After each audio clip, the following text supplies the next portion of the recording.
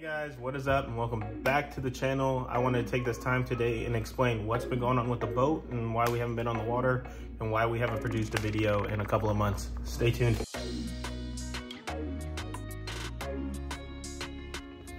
All right guys, so you're gonna have to forgive me. This is gonna be a little bit longer of a video to kind of explain what's been going on with the boat. We've had a laundry list of stuff go wrong with the boat, um, but one big thing being intermittent power loss. So I'm just gonna run through this note sheet real quick and read off what was all wrong with the boat um, and what we all took it in for. Um, and then uh, I'll show you it on the boat. So kind of starting at the top of that list, uh, we had some hoses that weren't draining in that front floor locker in the boat. We had a uh, gash in the starboard pleat uh, we had the glove box break. It was the latch on the glove box that broke. Um, the rear hatch and also the two jump seats, the bolts pulled right out of the fiberglass. So those seats were sitting in there all cockeyed and same thing with that rear hatch where the two washout ports are in the back. Uh, we had rust pop up on several several spots on the boat around the tower. And then um, we also had um, the washout port on the back right side of the boat was loose. So anytime you tried to connect the hose to it, it would just spin and spin and spin inside of there. Um, and then I think the last one was that the starboard motor was slow to start. Um, and I think that had something to do with the intermittent power loss or um, I think they might have remedied that by putting new plugs in the motor too. Uh, not exactly sure, but I kind of just wanted to get all that out there because those are all the things we were kind of dealing with I'm so happy we paid for those warranties because I kind of knew with it being a new boat, we were gonna run into some issues. Um, much like the first run of anything has, it has some issues to it to work out. Um, none of those things are super big, but the power loss issue, and I kind of just wanted to talk through that. So we're coming back from Pensacola. Uh, the sun was setting, so it's getting dark pretty quick.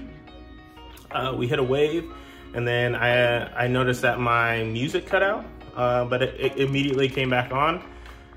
So it was weird, but I didn't think too much of it. And then we kept going, hit another wave, and then the music cut out again. And then I noticed that I lost my instruments and all of my switches. Um, so kind of a big deal because it was getting dark out and now my navigation lights were gone. Um, and also my bilge pump um, and just all of my switches were gone. So kind of a big deal when you can't mark where you're at once it's starting to get dark out. Um, so that kind of freaked us out a little bit and that was really kind of the catalyst that sparked us taking the boat in. And then once we knew we were taking the boat in, um, all the little stuff that we had noticed, um, you know, a week or two prior, we just listed that all on the same list as well. Uh, but that was the big thing, uh, kind of sketchy driving the boat back at night without any lights. For whatever reason, when that happened, um, we the simrad stayed on and the two motors stayed running but everything else wasn't working. No lights no music um, and no switches. Um, so kind of sketchy but thankfully we were able to make it back to the boat ramp without too many problems and then we took it into the um, the shop the next day um, and thankfully they were able to help us remedy those problems. Um, but I'll take you to the boat now and show you what they did to remedy some of those problems um, and see if we can't recreate that power loss issue. I know last time, um, right before we took the boat in, you could wiggle the main harness um, and there was a loose ground in there somewhere because every time you touch that main power harness um, and wiggled it enough, um, then it would recreate that issue, losing the instruments, uh, the instrument screen and all of your switches. So I started the boat the other night when we got it and it fired up just fine. Seemed like there wasn't any issues. And they have since um, uh, fixed the drain hoses. I know they fixed the latch on the glove box and also the pleat, um, as well as the table in the front has all the new rubber boots on it. Um, and it started up just fine. So I'm gonna walk you through the boat and show you all the things that they have fixed um, and that's kind of been our experience um, with the boat so far. Um, we absolutely love the boat. Um, you know, it just took us a little bit to get the boat back, to get back out there on the water, um, but glad we were able to, you know, get it all remedied so we can get back out there. So with all that being said, I'm gonna walk you through the front, uh, through the boat from front to back and uh, show you what's going on. All right, so here we are up here in the front of the boat. And these two little rubber pieces are what we had lost this one dry rotted, so only this one was left. So there was really no way to secure this table in here.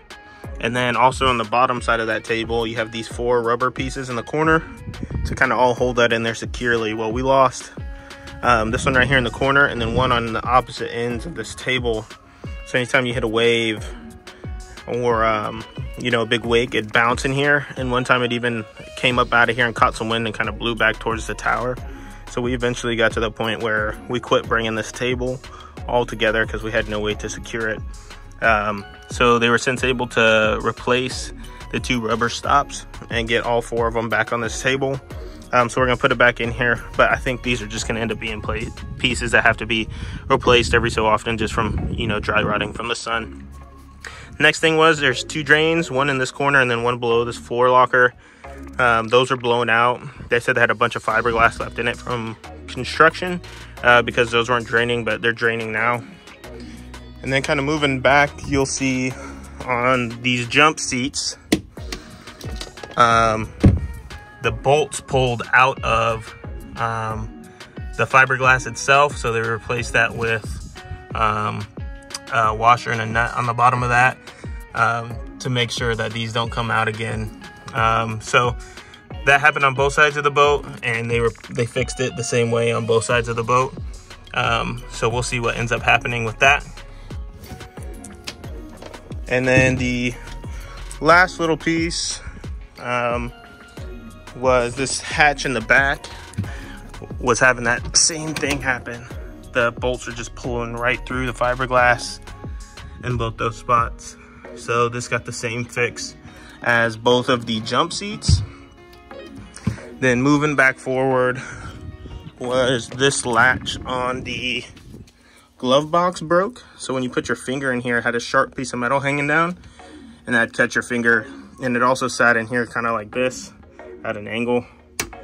So they've since replaced that and now it works just, just fine. So the last thing is the power issue we were having. So I'm gonna set you guys down real quick, fire the boat up and see if we can't recreate that issue. All right guys, so both the batteries are powered on. Uh, that was what happened to the other jump seat just while we're over here. So you can see you got the same fix. But both batteries are on. The key is in, so we're gonna go ahead and turn this key. See if we get the screen. We do. There's the Connext. Cool, it's powering on. Make sure we got our switches. We do, that's the map light, it's on right there. Awesome, so it looks like all our switches are back cool. And then uh, see if the stereo comes on.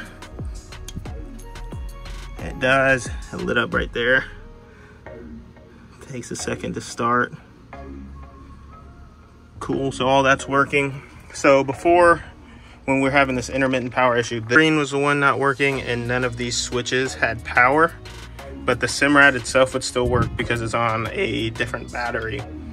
But the only thing you had to do to get this to cut out was come down here and wiggle this main harness. And once you wiggled that harness, this screen would cut off and you'd lose all power to your switches, which doesn't look like that's the case anymore. So they had to find that loose ground. Uh, happy about that because I just didn't trust taking the boat out, um, knowing we didn't have a bilge pump and then not being able to be on the water without navigation lights. So it looks like everything's been remedied to this point. We'll keep you guys up to date along the way. But that is where the boat has been. That's why we haven't been on the water. Um, so we'll keep you guys updated. All right, guys, as I'm sitting here editing this video, I wanted to give you guys the last round of updates we had in regards to the boat. Uh, so we've taken it out twice since we got it back, since like the front half of this video. Uh, the first time we took it out, awesome, no problems. Uh, but the second time we took it out, we ran into that same intermittent power issue. Uh, and it kind of happened the same way. There's several boats in front of us. I think we were leaving um, the Destin Harbor, um, and there are several boats there kind of causing a lot of wake. So we kind of came down hard, um, kind of in the trough of two waves when the boat came down hard in there. There's that same issue. The music cut out, the switches cut out. Um, it was pretty quick though. It booted right back up um, but still intermittent power issue. Um, so it's still something we're gonna have to take the boat back in to try to figure out. Um, thought we had it fixed in this last last round of fixes, um, but it looks like it might still be an issue. Um, reason I'm wanting to get this fixed is because we're trying to get out and start doing some night fishing. Um, and then I'd really um, like to take the boat down to Miami and do the crossing from Bimini or from Miami to Bimini um, is the ultimate goal, which is why I'd like to get this problem uh, fixed. So until we know that it's fixed for sure, um, it's kind of delaying some of those other things. Um, um, but not really anybody to point the finger at. It's just, you know, some of the issues we're running through right now. Uh, so I wanted to give you guys that. We haven't posted a video in a while because of uh, kind of just lead times, waiting on stuff to either get fixed, waiting on parts to come in, and then waiting for me to have the free and available time from work to actually go out and try to enjoy the boat, as well as pay attention to some of the things um, such as the intermittent power um, to make sure that I'm trying to capture that as best I can uh, once we do take it back in. So that's kind of been the story. Uh, I wanted to give you guys that, um, but please like and subscribe, and we'll catch you guys on the next one.